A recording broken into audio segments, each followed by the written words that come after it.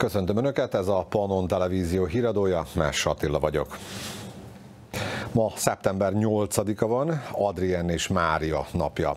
Ma van Kisboldogasszony napja, 1420 éve ilyenkor ünnepli az egyház Szűz Mária születésnapját.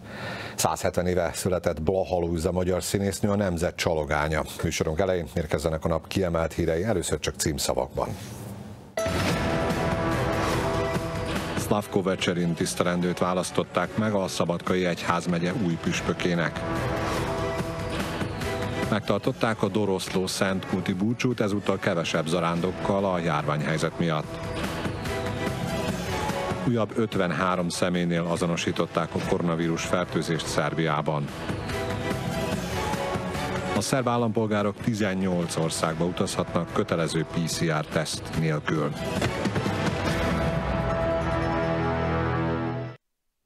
Szlavko Vecserin tisztelendőt választották meg a Szabadkai Egyházmegye új püspökének. Ferenc pápa elfogadta pénzes János nyugdíjazási kérelmét, és egyidejűleg Szlavko Vecserint a Szabadkai Egyházmegye papját, az eddigi általános helynököt nevezte ki új szabadkai püspöknek. Pénzes János legköszönő püspök örömét fejezte ki, hogy legközelebbi munkatársának püspöki tisztségébe való kinevezése kisboldogasszony ünnepére esett.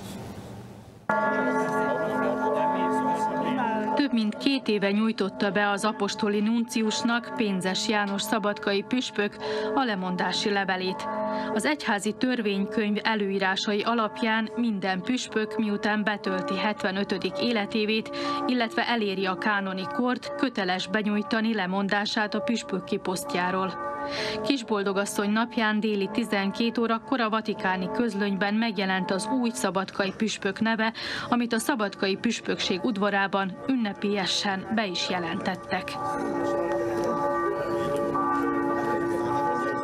A harangszó és a közösen elmondott úrangyala imádsága után Pénzes János ünnepélyesen bejelentette a Szabadkai Egyházmegye számára rendkívüli jelentőséggel bíró hírt, miszerint ő szentsége Ferenc pápa kinevezte az új szabadkai püspököt, Szlavko Vecserint. Mély hálával tartozok a Szent Atyának és munkatársainak a kinevezési folyamat lebonyolításáért. Örvendek amiatt, hogy pont az én legközelebbi munkatársamat nevezte ki utódomnak, akivel 12 évig, mint titkárommal, majd 15 évig, mint általános helynökömmel közreműködtem. Ebben a tényben a több mint 30 éves főpásztori tevékenységem elismerését és értékelését látom. A Szabadkai Egyházmegye főpásztoraként és azt a törekvést, amelyben társaim voltak papjaim és a sok-sok laikus hívő is. Hála Jóistennek mindenért! Az új megyés püspök 1957. június 6-án született Szabadkán, és 1983-ban szentelték pappá. 2011-től 2016-ig a Szabadkai Mária az egyház anyja plébánia papja, és egyben az ide tartozó Mária Kegyhely Szent Kút rektora volt. 2016 óta a Zombori Szent Kereszt felmagasztalása plébánia vezetője volt. Budući da se bez Božje volje ništa ne događa, bez obzira što mi mislili i kako mi to uvačili, danas kad stojim pred jednim potpuno novim početkom, najprije se želim zahvaliti. Želim se zahvaliti trojedinome Bogu za protegle godine svoga svećeničkog života u kojima nije nedostajalo izazova novih početaka, i isto vrijeme molim svjetlost, molim mudrost i vodstvo Duha Svetoga u ovoj novoj službi koja mi se povjerava. Az új püspök felszenteléséig és szolgálatának átvételéig Pénzes János most már nyugalmazott püspök vezeti majd továbbra is a Szabadkai Egyházmegyét. Szlavko Vecserin püspök felszentelésének időpontjáról a nyilvánosságot utólag értesíti majd az Egyházmegye. A szabadkai bejelentéssel egy időben a Doroszló Szentkúti búcsún is kihirdették az új püspököt. Verebélyi Árpád, a Doroszlói Kegyhely igazgatója reményét fejezte ki, hogy sikeres együttműködést valósítanak meg a jövőben Szlavko Becserinnel. Jézus Krisztus édesanyjáról örömének adott hangot az új szabadkai megyés püspök kinevezése kapcsán Pásztor István. A VMS elnöke megköszönte Pénzes János eddigi püspöki szolgálatát, továbbá azt, hogy atyai melegséggel irányította az egyház megyét. Mint fogalmazott, bízik abban, hogy Szlavko Vecserin is hasonlóan jó vezetője lesz az egyház megyének. Szeretnék örömömnek hangot adni, hogy új püspökünk van, Vecserin Szlavko püspök úr személyében, jó egészséget kívánok neki, bölcsességet kívánok neki, azt kívánom neki, hogy ugyanaz a jóság, ugyanaz a nyitottság járja át a lelkét, amiről pénzes püspök urat megismertük. Azt gondolom, hogy ez mindannyiunk érdeke, a hívő közösségnek az érdeke, a Szabadkai Egyházmegyek érdeke, és minden polgárnak az érdeke kevesebb zarándokkal, de ugyanolyan emelkedett hangulatban múlt el az idei Doroszló Szentkúti búcsú, mint a korábbi években. Szent Mise, körmenet és kirakodó vásár várta a híveket, az ünnepen minden járványügyi ajánlást betartottak.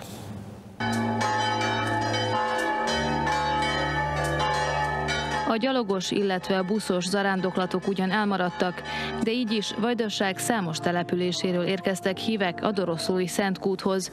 Nagy Mihály 21 éve rendszeresen jár a kisboldogasszony búcsúra, ez idén sem volt másként. Lelki megnyugvást kap az ember. Még nagyon szép látni, hogy ennyi ember ilyen hűségesen ide jár. Ez nagyon szép. Úgyhogy hát, hogyha az egészség megengedi, még a jövőbe is jövök. A törtei házaspár Oromhegyesről érkezett az arándok helyre. Minden áról mi jöttünk volna ketten, csak úgy, hogy hát csak ide vágytunk hogy legyünk. Az idei ünnep a járványügyi intézkedések miatt kicsit másként zajlott, mint korábban. Kevesebb hívő, távolságtartás és maszkviselés is jellemezte ezúttal. Diósi János helyi lakos elmondta, számára így is csodálatos volt a Szentkúti búcsú. Tudom gyerekkorom óta, hogy itt, amikor kis boldogasszony volt, itt tömeg volt. Sajnos az idei év ez ilyen, ezt el kell fogadni, ezért nem tudunk semmit csinálni. Be kell tartani szabályokat, és hát majd lesz, lesz majd jobb is. Berebélyi Árpád a Kecse igazgatója kiemelte, az idei búcsú arra mutat rá, hogy a hívek számára mennyire fontos Isten, és a hagyományok, amelyek a jelenlegi járványügyi helyzetben is ide vonzották őket a meghívásnak egy olyan enyhe változatával próbáltuk megszólítani a híveket, amivel talán mi magunk se tudtuk, hogy mi lesz ennek a kimenetele, és mégis a híveknek a szeretete, én úgy érzem, hogy a minden várakozást felül múlt azzal, hogy szép számban, hanem is akkorában, amiben különben szoktak jönni, de szép számban ellátogattak a Szentkútra. Pásztor István a VMS elnöke azoknak a híveknek üzent, akik felelősségteljes döntést hozva ez alkalommal otthon maradtak. Mindenek előtt szeretnék köszönetet mondani nekik, hogy le tudták győzni azt a vonzerőt, amelyik biztos, hogy működött bennük, amelyik biztos, hogy újra és újra meggondolásra késztette őket, hogy eljöjjenek-e, vagy pedig otthon maradjanak. Szeretném nekik megköszönni, hogy az idén otthon maradtak, és hogy amennyire csak tőlünk telhetik, tel, telhetett, betartottuk azokat az ajánlásokat, amiket megfogalmaztunk.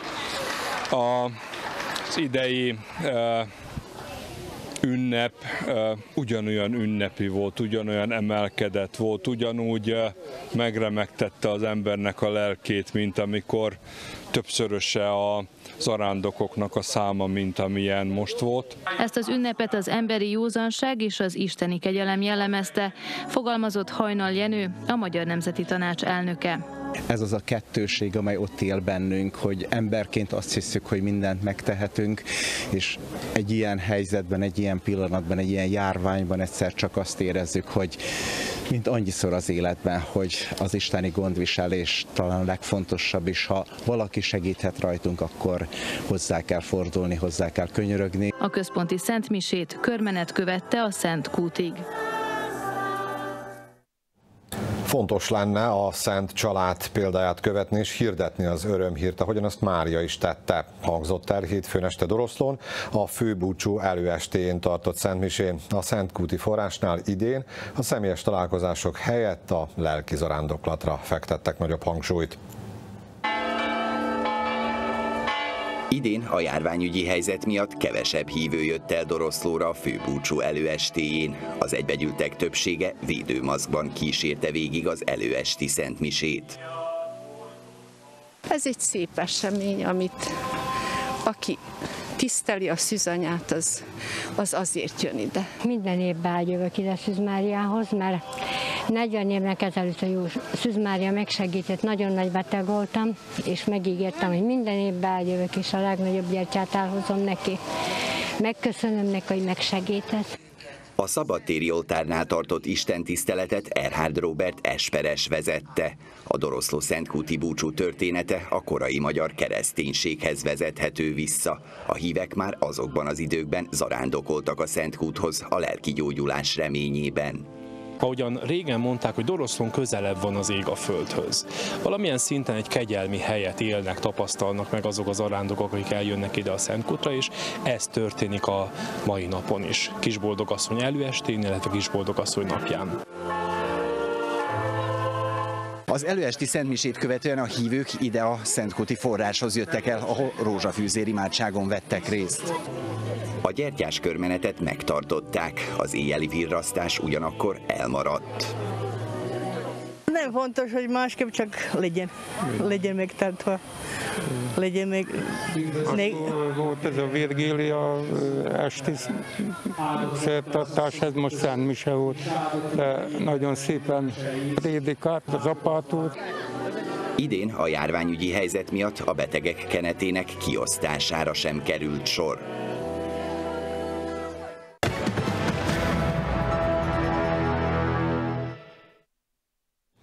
Újabb 53 személynél azonosították a koronavírus fertőzést Szerbiában, 24 óra alatt 8342 embert teszteltek, egy nap alatt ketten haltak bele a betegség szövődményeibe, így az elhunytak száma 727-re nőtt. A halálozás arány 2,27 százalék, jelenleg 437-en vannak kórházban, 38 páciens szorul lélegeztetőgépre, az ő állapotuk kritikus. Az Európai Beteg Betegség Megelőzési és Járványvédelmi Központ adatai szerint egyébként szeptember 8-ával bezárólag Szerbiában 100 ezer lakosra 17,58 század fertőzött jutott, ami a régióban a legkevesebb és háromszor kevesebb, mint az európai átlag. Jelenleg átmeneti nyugalom van a koronavírus járvány tekintetében Szerbiában, de az biztos, hogy a harmadik hullámot nem tudjuk elkerülni, mondta a szerbiai RTV vendégeként dr. Radmilo Jankovic. A Nisi Klinikai Központ anesteziológiai és intenzív terápiás klinikájának igazgatója hozzátette. Dél-Szerbiában pillanatnyilag sokkal jobb a helyzet, mint egy hónappal ezelőtt volt, ugyanakkor bizonyos jelek már arra mutatnak, hogy újra elkezdhet romlani a helyzet. Most a túlfeszített rendszert próbálják pihentetni fogalmazott. A harmadik hullám pedig biztosan nem kerüli el Szerbiát. A kérdés csak az, hogy novemberben vagy decemberben lesz-e, de az egészségügyi dolgozók próbálnak felkészülni rá, fogalmazott Jankovics. Mint mondta, a legnagyobb gondot az egészségügyi rendszer összeomlása jelentheti.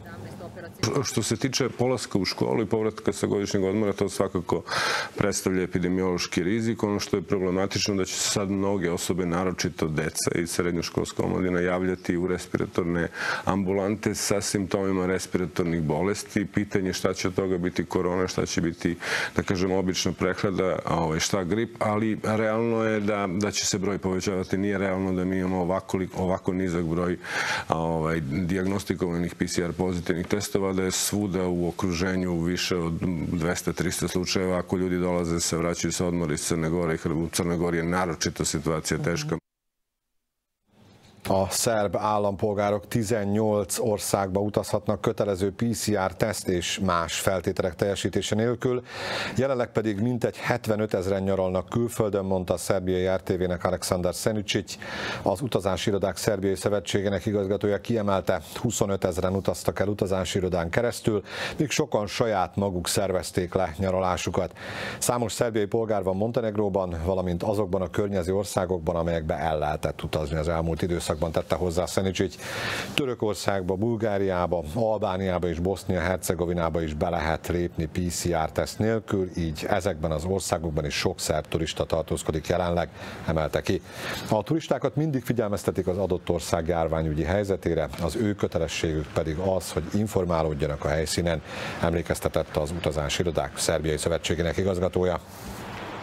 Najveći problem jeste ta neizvestnost, iščekivanje o tome koliko će to da traje, na koji način ćemo putovati, raditi i živeti u krajnjem slučaju narednih godina. Kad je reč o turističkom sektoru, on je zaista u katastrofalnoj situaciji na svetskom nivou, ne samo u Srbiji. U Srbiji je takođe situacija katastrofalna. Poslednjih pet meseci mi skoro da uopšte ne, ne generišemo nikakve prihode. Pad, pad prometa u turističkoj industriji je negde preko 90%.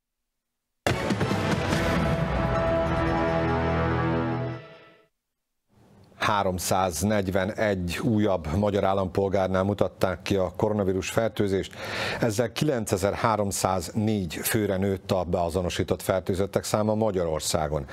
Elhunyt egy idős krónikus beteg, így az elhunytak száma 626 fő, 3972-en pedig már meggyógyultak. Jelenleg 192 koronavírusos beteget ápolnak kórházban, közülük 12-en vannak lélegeztetőgépen.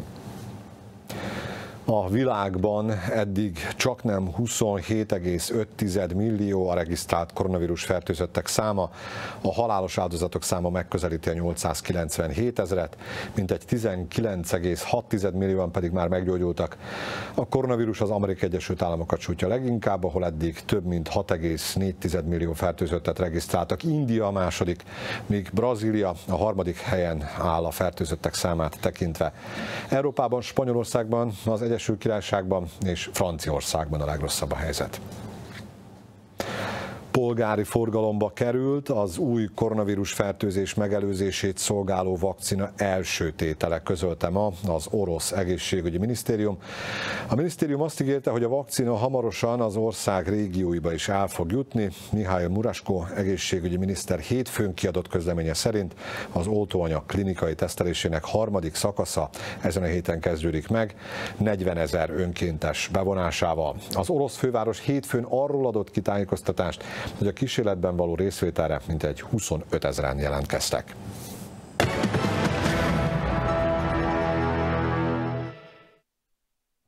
Még mindig van idő arra, hogy Nyugat-Britannia, hogy Nagy-Britannia és az Európai Unió megállapodásra jusson a jövőbeni kétoldalú kapcsolatrendszer feltételeiről, de ehhez az szükséges, hogy az EU reálisabban álljon hozzá a tárgyalásokhoz, közölte a ma kezdődő újabb tárgyalási forduló előtt a brit tárgyaló küldöttség vezetője. A brit kormány mindenek előtt átfogó szabad kereskedelmi megállapodást kíván elérni az EU-val, ám az erről tartott eddigi hét tárgyalási forduló fordulón nem történt érdemi előrelépés. David Frost, brit főtárgyaló, és Michael Barnier, az Európai Bizottság tárgyaló stábjának vezetője. Ma Londonban kezdte 8. fordulót, ha Londonnak nem sikerül szabad kereskedelmi megállapodást kötnie az Unióval, az valójában azt jelenteni, hogy Nagy-Britannia és az EU kereskedelme a jelenleg érvényben lévő decemberben lejáró átmeneti időszak után a kereskedelmi világszervezet általános szabályrendszere alapján folytatódhat, ez viszont vámok megjelenésével járna a jelenleg akadálytalan kereskedelmi forgalomban. Háborúskodással vádolta meg Donald Trump a Pentagont. Az Amerikai Egyesült Államok elnöke szerint az ország katonai vezetői azért folytatnak háborúkat, hogy a hadipar folyamatos bevételekhez juthasson. Trump hozzátette, ezek a vállalatok bombákat, rakétákat, repülőket gyártanak, a Pentagon vezetői pedig háborúkat szítanak annak érdekében, hogy a cégek elégedettek lehessenek. Az amerikai elnök azután fogalmazta meg ezeket a bírálatokat, miután több katonai vezető a Fehérházzal ápolt viszonyokat feszültként jellemezte. A többi közt azt is sérelmezték, hogy az elnök durva és sértő módon nyilatkozott az amerikai katonaságról és a háborús veteránokról. Nézzük, mivel foglalkozunk még híradunk folytatásában. Közepes termésre számítanak az északvajdasági almatermelők. A nyári szünet után ismét működik a Szabadkai Népkonyha.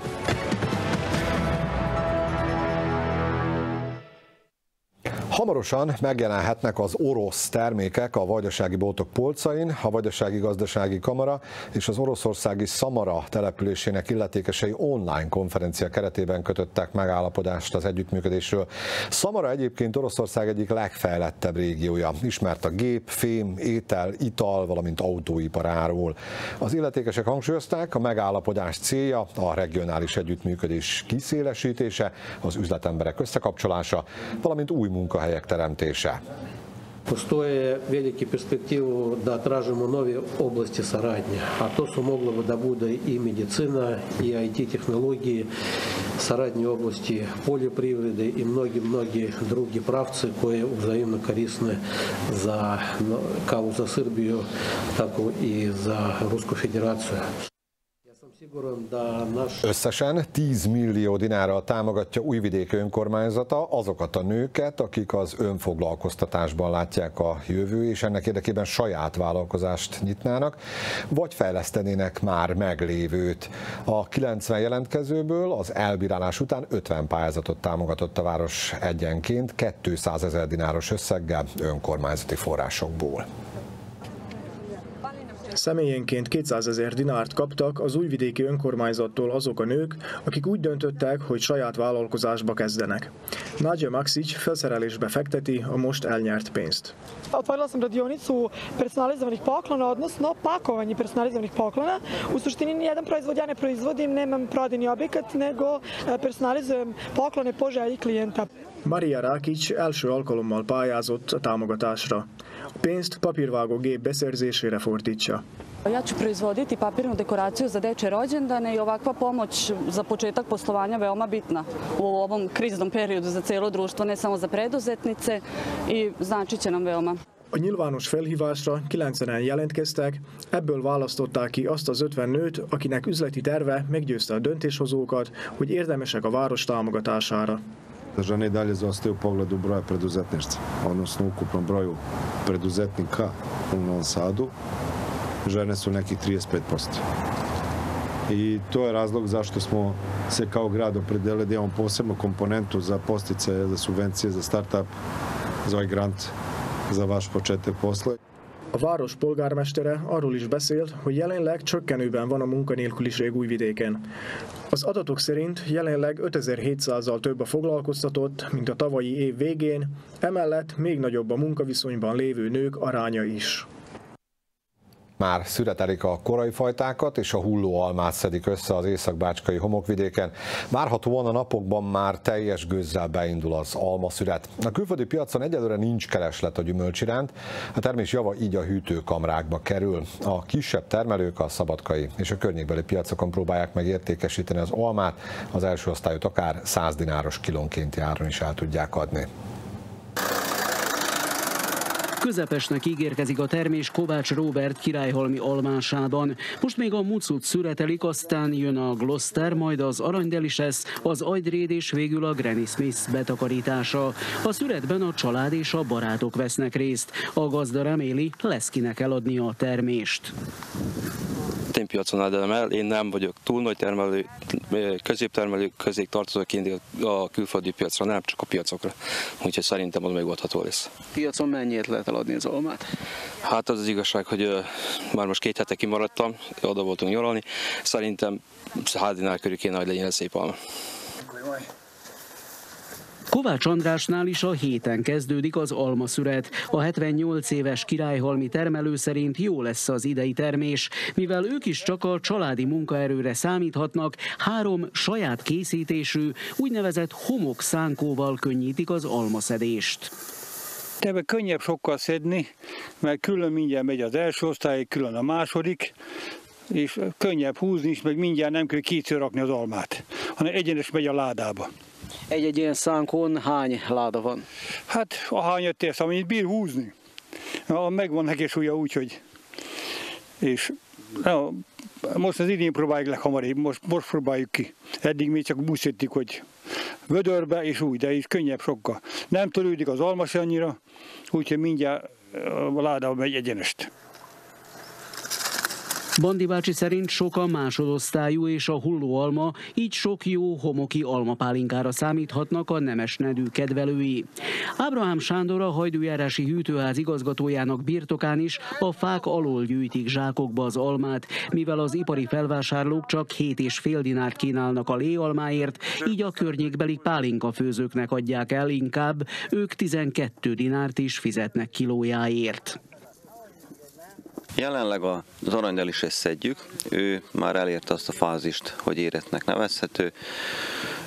Itt egy elég nagy jégkár történt nekünk, úgyhogy válogatnunk kell az almát első, másod és harmadosztályba.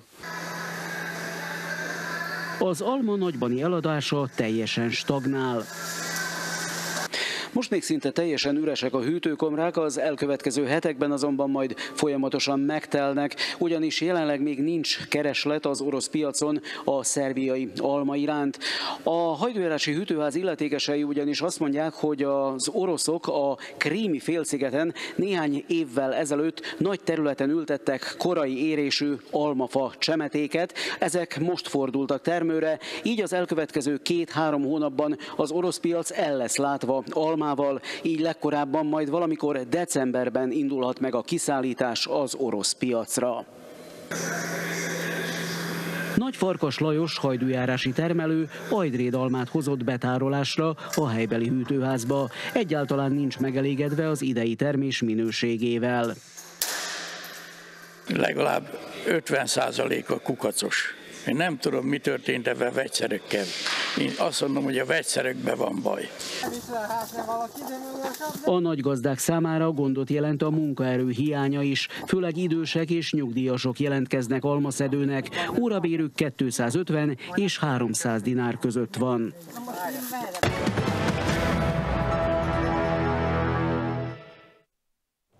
A nyári szünet után ismét működik a Szabadkai Népkonyha. Szeptember 1 -e óta rászorulók a napi melegétel adagjukat minden hétköznap átvehetik a megadott helyszíneken. Mint mondják a felhasználók, hatalmas segítség számukra az adomány. Két hónapos szünet után most újra működik a Szabadkai Népkonyha. A szervezet illetékesei pedig időben értesítették a rászorulókat az ételosztás helyszíneiről és időpontjáról. Szabadkán 1200 ételadagot főznek napi szinten és 33 helyi közösségbe szállítják. Ez a legnagyobb népkonyha Vajdaságban. A felhasználók számára hatalmas segítség a népkonyha által biztosított melegétel. Skoro puta. Az étel kiosztását 35 önkéntes segíti Szabadka több pontján. Bontja Katalin már három éve segít a rászorulókon. Jó érzéssel tölti el, hogy részt vett a programban. Van paprikás húsa, borsó van, zöld bab van. Itt szoktunk még kapni. Leveseke van, szóval ilyen minden van benne, ilyen zöldségrépa, amit ilyen nyári leves. Miodrág Varó, a Szabadkai Vöröskereszt szakmunkatársa elmondta, az önkormányzat a programra idén 31 millió 266 ezer dinárt szánt. Próbálkozunk más módokon is segíteni a rászorulókat, ugye népkonyha listánkon pillanatnyilag 250 kiskorú gyerek van, és több mint 660 év feletti úgyhogy nem csak a főtételeken keresztül, hanem a csomagokon, ruházat, tisztálkodási szerek és más dolgokon keresztül is próbálnak segíteni nekik. Az illetékes hozzátette, azt, hogy kiválhat a népkonyha felhasználójává, a Szabadkai Szociális Központ dönti el. Ruhaosztási akció vette kezdetét Szabadkán a Sándor helyi közösségben. A Vöröskereszt által szervezett humanitárius program keretében a környéken élők egy héten keresztül válogathatnak majd a felajánlt használt ruhákból. Nagy volt az érdeklődés a Vöröskereszt ruhaosztó akciójának első napján. Valentina Recep lányával érkezett a Sándori helyi közösség épületébe. Elsősorban gyermekeinek szokott ruhákat keresni. Stvari za decu, tako uvek nađem nešto dobro. Koliko imate dece? Koliko imam dece? E, šestoro, šestoro imam. Tri dečaka, tri devojčice. Az összegyűjtött 400 kg ruhából bárki válogathat magának, valamint családtagjai számára. Szanyarostos, pólókat és szabadidőruhát keresett családjának. Ja se nađem Znači, nađem i za mene nađem i za malu. Znači, nađem dosta stvari. Az elmúlt évek jótékonysági akcióitól eltérően idén nagyobb érdeklődés mutatkozott a használt ruhák iránt. Emelte ki Gyapjas Gizella, a Vöröskereszt helyi aktivistája. Ha megmarad, akkor ma, ma, hagyjuk a itten, és akkor legközelebb, ha jönnek, akkor újra el, hozzájuk rakjuk, ami maradtak. A Vöröskereszt aktivistái évente több alkalommal és több helyszínen szerveznek hasonló eseményeket, hogy ezzel is segítsék a rászoruló családokat. A Sándori helyi közösségben szeptember 15-ig várják az érdeklődőket.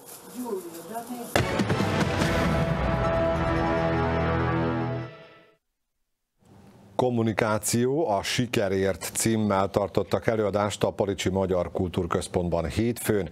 Az úgynevezett asszertív kommunikációról Papágot a pszichológus tartott előadást, amely a sokszínű együttműködés nevet viselő határon átnyúló program keretében valósult meg. Papágot elmondta, érdemes már gyerekkorban tudatosítani ezt a kommunikációs formát, amely akár az iskolákban is követendő példa lehet.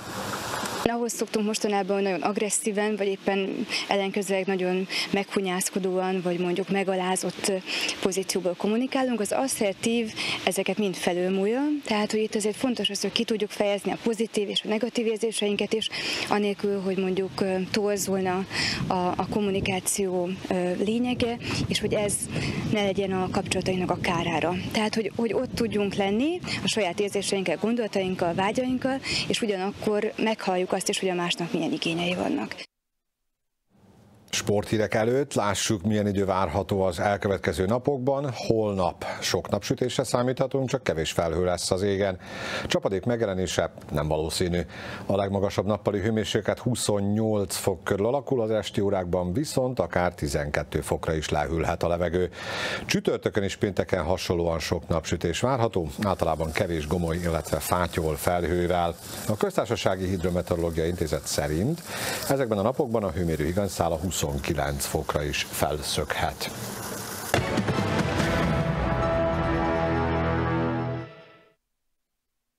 A US Openról való kizárása után Novák Djokovic szert teniszező közösségi oldalán köszönte meg az őt támogató üzeneteket, valamint arra kérte szurkolóit, hogy ne sértegessék az általa eltalált vonalbírót. Ezektől a pillanatoktól erősebbé válunk és feljebb emelkedünk. Mindenki felé terjesztjük a szeretetet, Európa, jövök, írta bejegyzésében a teniszező.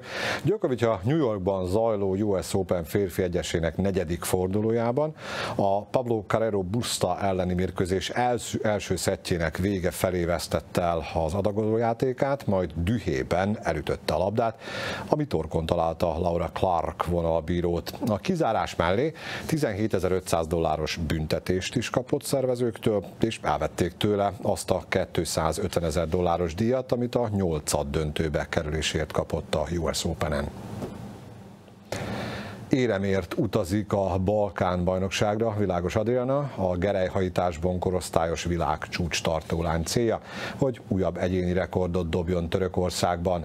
Az U20-as mezőny kemény dió lesz, de a mindössze 16 éves tehetség már többször is bizonyította rá termettségét, és hogy az idősebbek között is megállja a helyét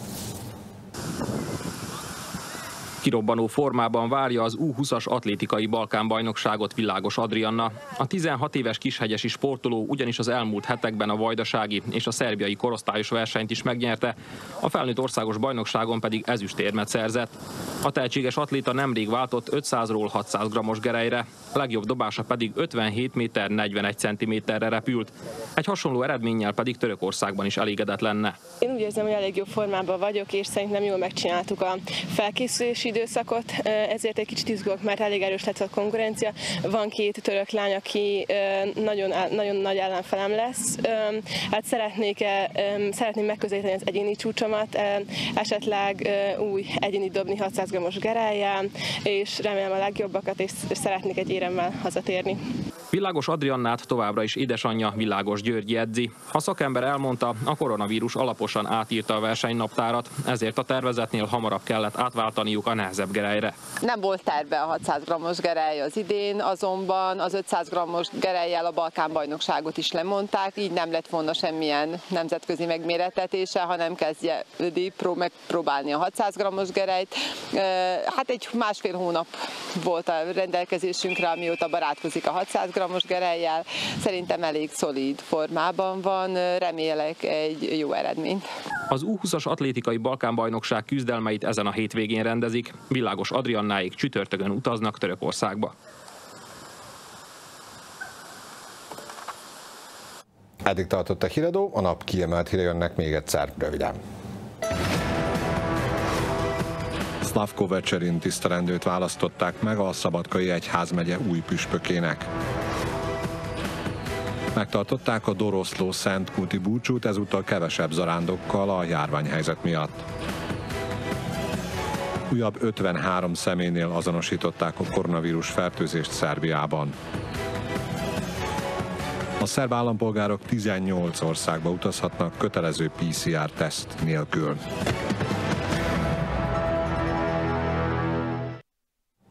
Figyelmüket megköszönöm, további szép estét kívánok, böngészszék a honlapunkat, a pannonrtv.com-ot, ott további friss híreket olvashatnak, és műsorainkat is visszanézhetik. Szép estét, viszlát!